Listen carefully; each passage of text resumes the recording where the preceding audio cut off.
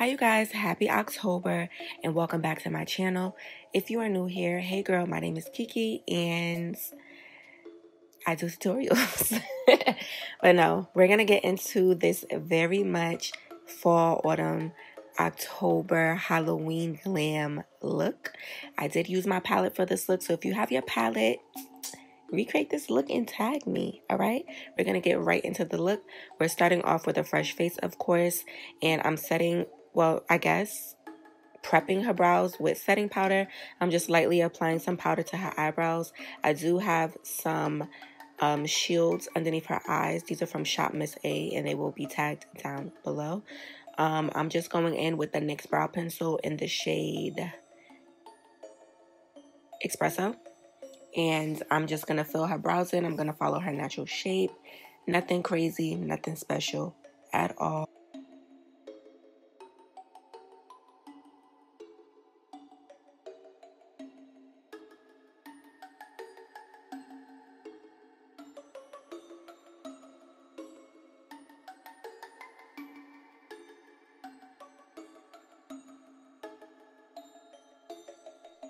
So now I'm going to take uh, this concealer brush from Shop Miss A and I'm going to take my Tarte Shape Tape Concealer. I'm using the shade Deep and I'm going to use that to conceal her eyebrows.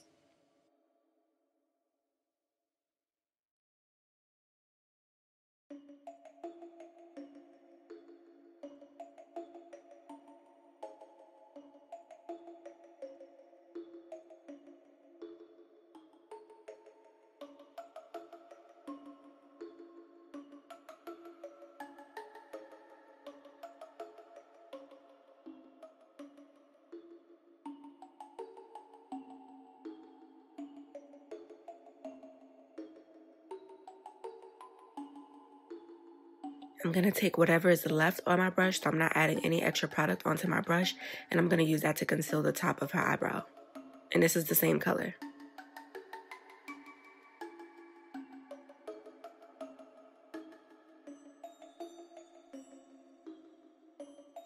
If you need to pick up some more product, go ahead and do so, but I like to always start off with whatever is left on my brush.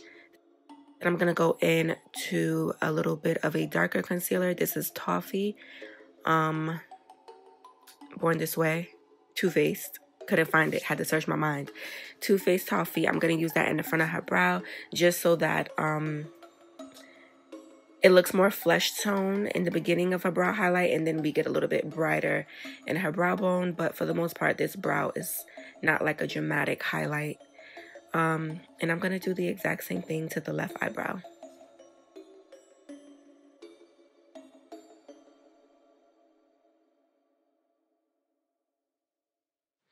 Now I'm just going to take this eyebrow pencil from BH Cosmetics and I'm going to take a little bit of a dark brown eyeshadow to just fill in whatever areas might be sparse or just areas that I want to be filled in a little bit more. I tend to try to uh, keep this only in the middle and back of the eyebrow so the, light, the front of the eyebrow could look lighter.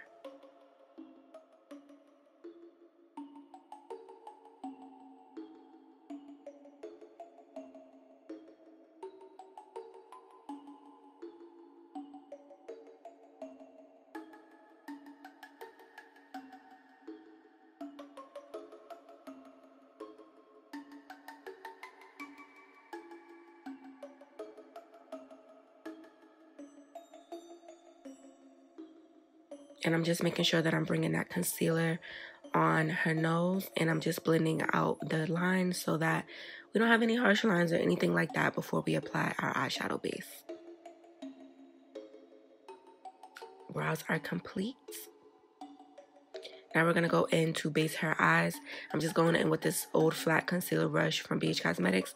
And I'm just um, stamping in my eyeshadow primer. And this is to be honest, I don't know if it's the Helen E or the P. Louise because I started going back to the P. Louise base, but most likely this is Helen E.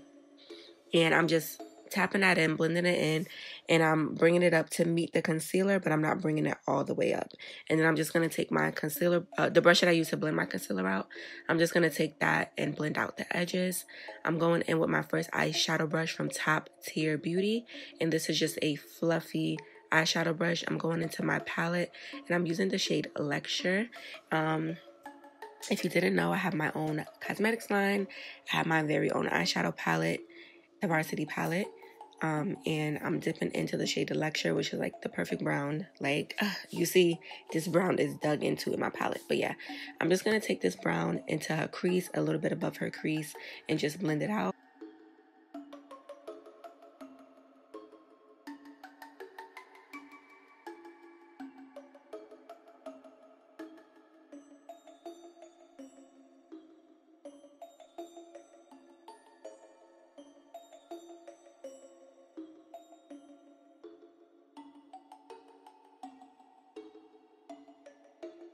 Now I'm going in with um, another brush from the same eyeshadow set, Top Tier Beauty. And this is more of a flat packing brush. And I'm going to go in to my second shade.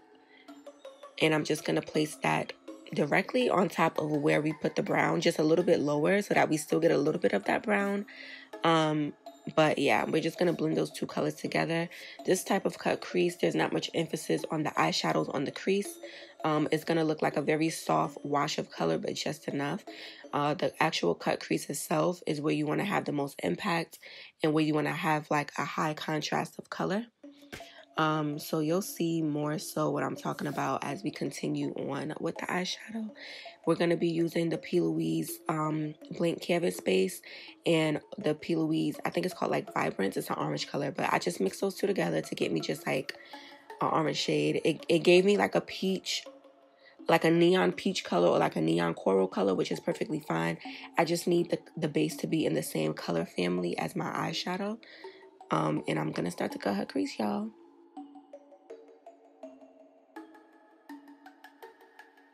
So when I cut the crease, I do like to tap along. Sometimes I will drag, but for the most part, I do uh, just tap the product on the eye. If you guys want an updated, detailed video on how to cut the crease precisely, I will do that for you. You just have to let me know in the comments down below.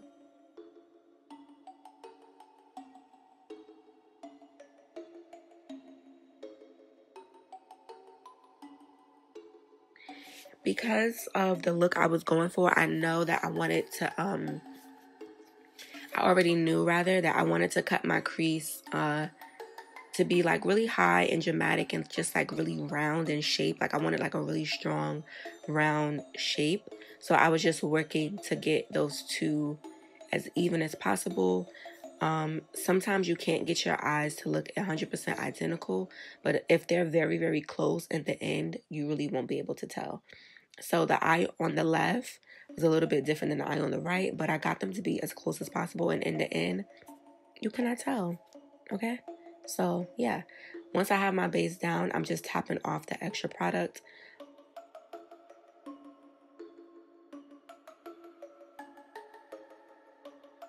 The lighting will continue to shift in this video, and I'm so sorry about that. Um, but yeah, this is me just trying to get them as even as possible.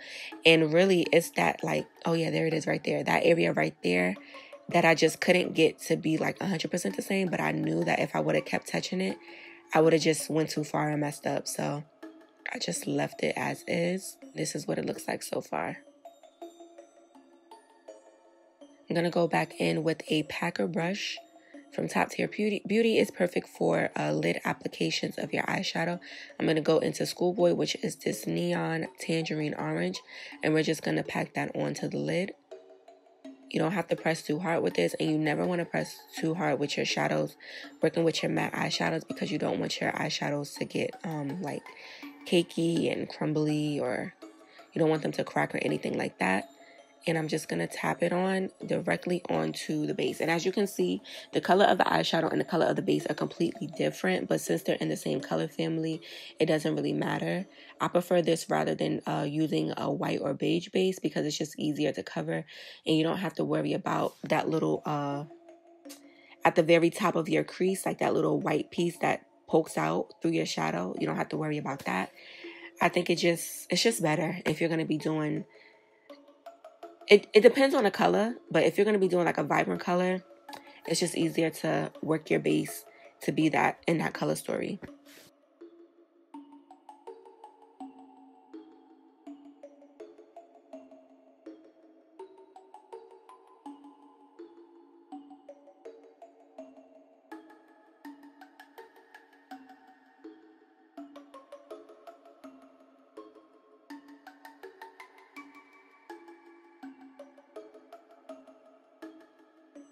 Now I'm going back in with the same brush that we used to define the crease a bit with that same eyeshadow um, in the outer corner. And I'm just going to just lightly bring it into the orange, just lightly.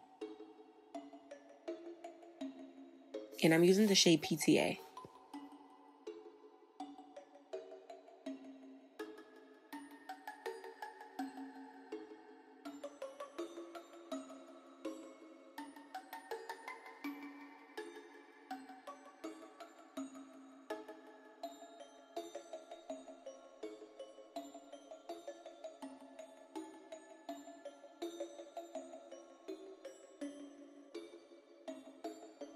I'm gonna take uh, my glitter adhesive and I'm gonna apply a very thin layer um, on the lid. We're gonna go all over the orange and just a little bit into the inner, um, the outer crease area, should, just so that the glitter is kind of like blending into the outer crease. We don't want the glitter to just like abruptly stop.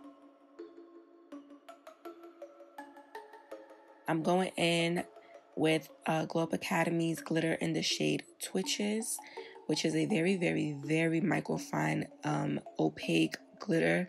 It's orange with gold reflex. And if you have this glitter, I definitely uh, recommend, or if you're thinking about getting this glitter, it's best to always use this glitter on top of um, something that's orange on its own. I know some people, they'll go in with just a beige base and add their glitter on top. You can't do that with every glitter. So you wouldn't be able to do that with this one. You would want to use something um, in the same color story to get the most impactful look. So I'm just taking my glitter applicator from Glow Up Academy and I'm using that to easily stamp the glitter on. And once I have my glitter on, I'm just going back in with that eyeshadow and just kind of blending it into the glitter so we get a nice gradient effect and everything is just nice, smooth, and transitions. I'm going to do the exact same thing to the other eye.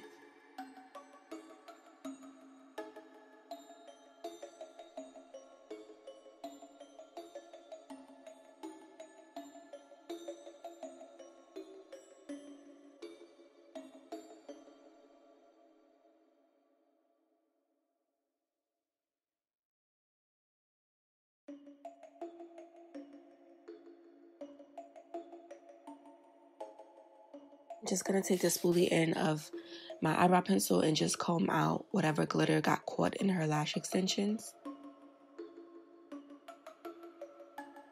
And because this glitter was super, super fine, I decided to go in with the um, shadow shields because I just knew it was going to be a pain to try to get all the glitter off of her face.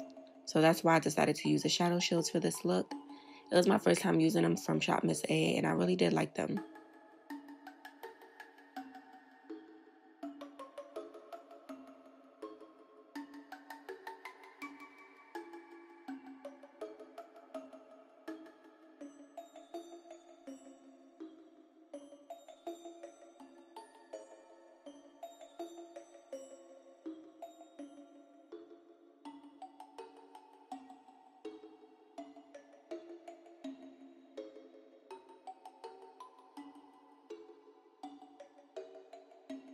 So because these shadow shields are so sticky, I actually use them as tape to uh, just take off whatever extra glitter was on her face. So it was a two-in-one, you guys. Super easy to remove the glitter with those as well. So I'm going to go in with my primer. I'm using the Base Tape Primer by Tarte. Started using this primer over the summer on myself, and I decided have to add this to my kit because it is chef's kiss. This primer, y'all, is so damn good. Like I have to do a sit down video of the new products that I put in my kit this year. I just have to do a sit down because this primer it needs a moment. Like we have to talk about her, but I'm just using a foundation brush to apply the primer into her skin. And for me and my clients, it doubles as a moisturizer and a primer. Love it so much. Now we're going to start on her skin. So we're going back into the Born This Way concealer in the shade Toffee, which is very close to her skin tone. And we're just going to apply that um, around the perimeter of her under eye. And I'm just using an e.l.f. concealer brush to apply this. Now we're going to go in with chestnuts directly underneath her eyes, on her forehead, and on the bridge of her nose.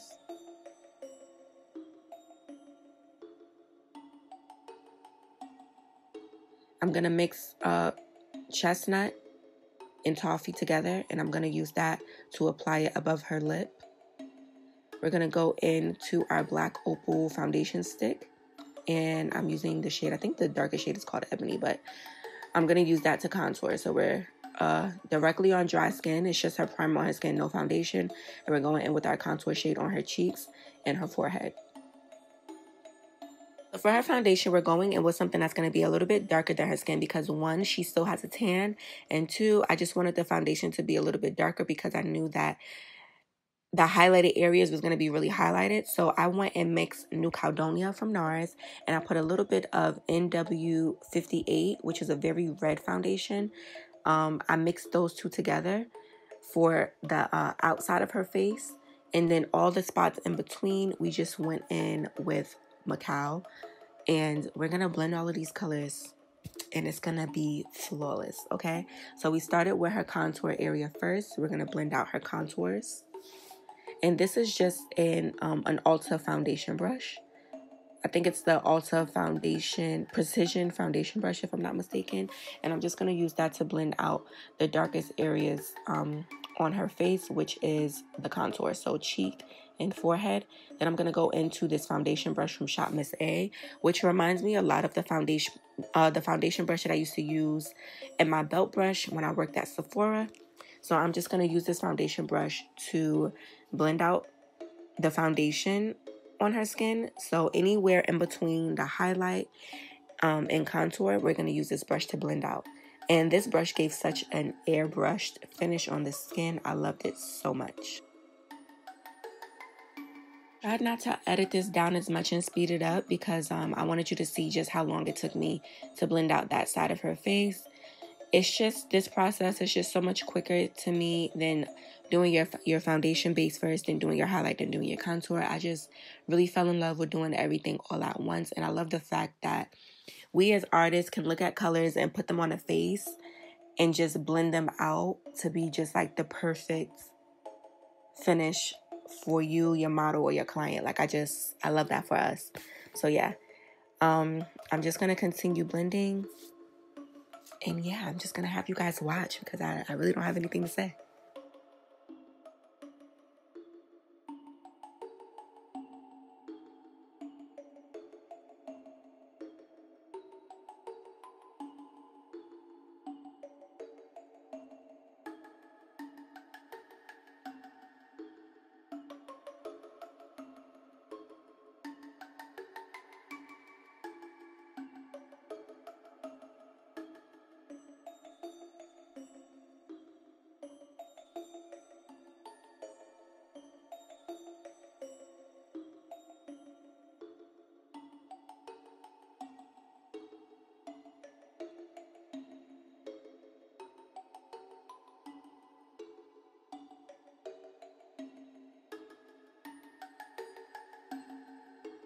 Right, so now we're going to go in with our smaller brush to blend out all of the highlighted areas on the skin. If you were paying attention, you noticed that I was being very careful not to uh, tap those highlighted areas with my foundation brush because I don't want my colors to get mixed and get muddy. I want every color to stay on every brush. I need everything separated, right? So I'm going to take my um, brush from Real Techniques. This is their setting brush, I believe. Their under eye setting brush, whatever.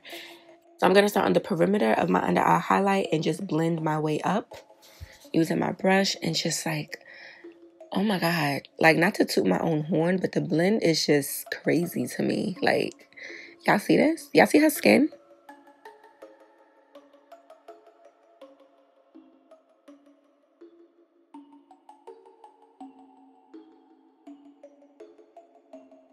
Y'all, this is, it's not set. Like, this is what it's giving unset. Like, stop playing. Stop it. Y'all have to try this technique and y'all have to try the primer. Like, y'all have to try the primer. So, I'm going in with what am I going with? So now I'm taking Born This Way in the shade Cookie, and I'm going to take that directly on my sponge and just keep that right underneath her eye like that little triangle, like right underneath her eye. We're going to keep it there to get just like a beautiful brightened look without her looking crazy, right? So I actually wanted to keep this um, mistake in so that if it happens to you, you don't freak out. So, so I just took a cotton pad, wiped it off. Then I went back in with my foundation brush. Didn't have to add any more product onto my foundation brush. And I just kind of just smoothed it out, blended it out. And then I went back in with the concealer in the shade Toffee. And voila, it's back to normal. I'm just to go back in with some pencil to replace what was wiped off. And that's it, you guys.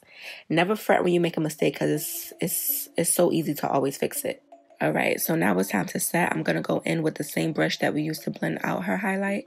And I'm to go in with a mix of Sacha Buttercup I use the Sacha Buttercup. I use the Huda Beauty uh, Kunafa, I think it's called. I mix those two together and I'm using that to set underneath her eyes by just pressing the powder all the way in.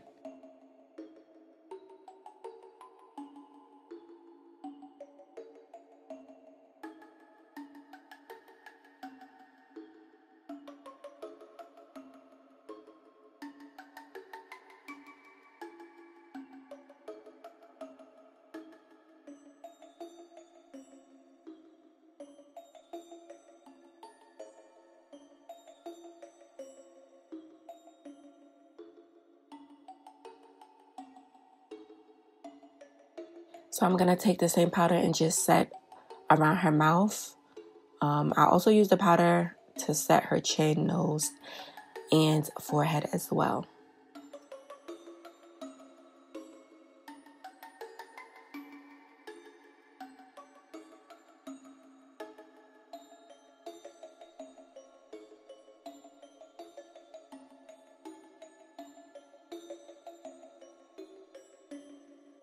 Now we're going to bronze her face. I'm going in with that brown out of the Zulu palette. You know that's our favorite bronzer on this channel. And I'm going to take my favorite Morphe cheek brush and I'm just going to stamp that onto her cheeks because remember we have to set this area because her whole face is unset with powder. All right, so once we have that on, I believe I did add a little bit of blush. I'm sorry I didn't get that on camera. And I did go a little bit heavy on uh, bronzer and blush because I know that at the end it gets washed out and blended out anyway. Anyway, you guys just watch me uh, press that powder, the remaining of the powder. I pressed it into her skin. I did not dust it away. I just pressed it in. And this is what she's looking like so far. It's given. I'm feeling it. What do y'all think? So far, I like it. I did add some lip liner onto her lips. Now I'm going in with my Dermablend um, translucent powder underneath her eyes just to give her a more highlighted look underneath that eye. I just need it to be a little bit brighter because the eyes are just so bold. And I also put some in between her eyebrows on her forehead. Now we're going to go into contour. I'm using this brush from BH Cosmetics. I don't know if it's still on their website, guys. I don't know what BH Cosmetics is doing, but the last time I went on their website to like link the brushes I use, they had a whole new family of brushes up there. So I'm going to check to see if I can link this brush down below, but I'm sorry. This is one of their highlighter uh, brushes from the Studio Brush collection, but I, I love to use it for contour as well as highlight. It is a synthetic brush, but it's just chef's kiss. It's beautiful. Hopefully it's on the site so that I can tag it down below so that y'all can get it too. Her eye was getting watery because we put black liner in her waterline. Always um tell your clients to sniff in real deep. Like like when I mean sniff, I mean like really sniffle. Um And then I always have my clients hold their breath while I'm putting um, product in their waterline because it just keeps the eye dry. I'm just taking a Q-tip to catch any um, tears that might be trying to fall out. And I'm just going to continue to smoke out her bottom line. And I'm using the one size um, black pencil for this. All right, once I have that done, I'm going to go in and press that powder in underneath her eyes as well.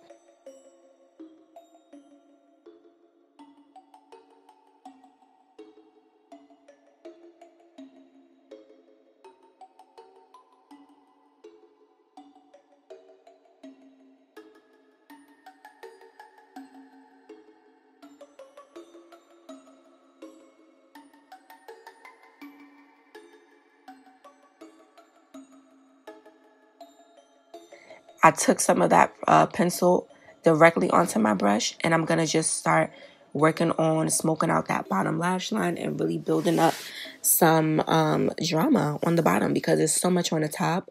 And I just know that I wanted it to be dark as opposed to it being like, you know, orange or plum. I needed drama, you know? So we're getting it really dark. And then uh, once we have that liner smudged on there, we're going to go in with girl, what did I go with? I believe I went into Champ in the palette, which is just a darker version of PTA. It's like a really, really, really deep plum color. I used that to smoke out her bottom lash line and I loved it.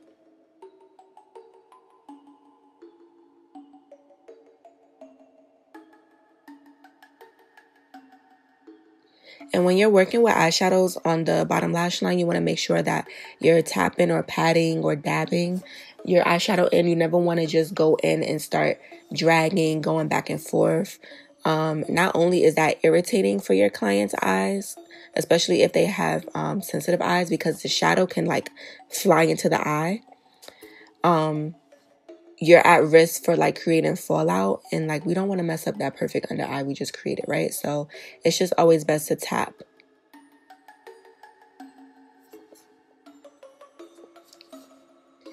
Now I'm going to go in the inner corner on the bottom. I don't even think I mentioned it, or maybe I didn't do it on camera, but for her inner corner, I added um, a gold metallic shade, which is also, everything I use is obviously from the Varsity palette, but yeah, I just wanted to add something gold so that it was still like in the color family of the orange. I didn't want much color contrast in the inner corner, so I'm just bringing that down to the bottom as well. And I think it gave a nice effect.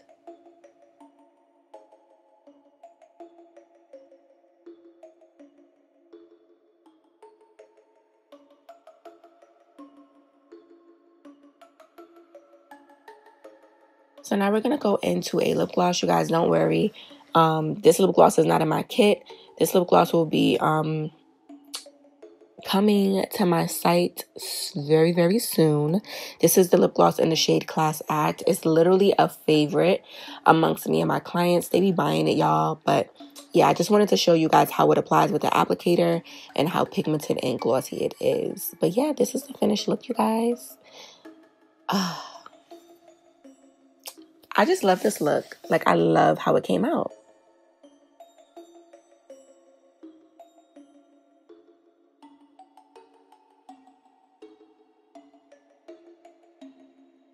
And I did, of course, get some close up footage for you guys on my cell phone so you guys can see what it's really giving because you know sometimes the camera washes out the eyeshadow, especially when we're using glitters. So this is the complete look, you guys. I was going to a Halloween party. This is probably how I would pull up. Because I'm not really into like quote unquote Halloween makeup. I'm into Halloween glam. So like Halloween inspired colors, you know? But like, you know? Like Halloween, but make it glam. Don't put no blood and stuff on me. All right. But yeah, if you guys recreate this look, please tag me. I want to see you guys. Um, I love you guys so, so much. Thank you guys for all of the love and support you guys give me. I appreciate you guys more than you will ever know. And make sure to shop my brand because we are having a sale, a $2 sale on the glitters and the palette is on sale as well. So make sure to grab you one. I will catch you guys in the next video. Bye.